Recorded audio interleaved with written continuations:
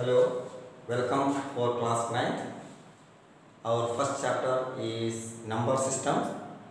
In previous year class 8 आपने natural number के बारे में होल नंबर के बारे में आपने सीखा है तो the set of all natural numbers can be taken as n therefore n is equal to set 1 2 3 4 5 etc then whole numbers the set of all whole numbers can be taken as w therefore w is equal to 0 1 2 3 4 5 etc then आपने previous year में integers के बारे में सीखा है integers को हम यहाँ पर रिप्रेजेंट रिप्रेजेंट करेंगे इजेड के यहाँ से then Z is equal to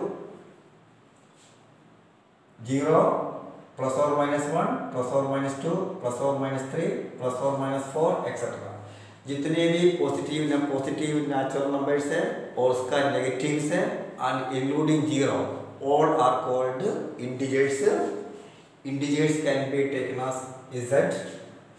Then next part about rational number. The set of all rational numbers we can take as q, not r.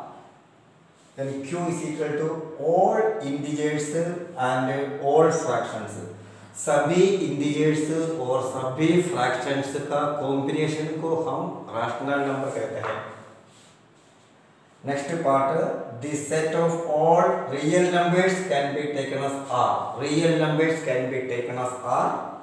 Then R is equal to set of all rational and irrational numbers. Next, sixth part, coprime number. Coprime number means the HCF of two numbers should be one. कोई सा भी to number है उसका H C F अगर one है तो ये cooperate number है जैसे seven eight five seven and so on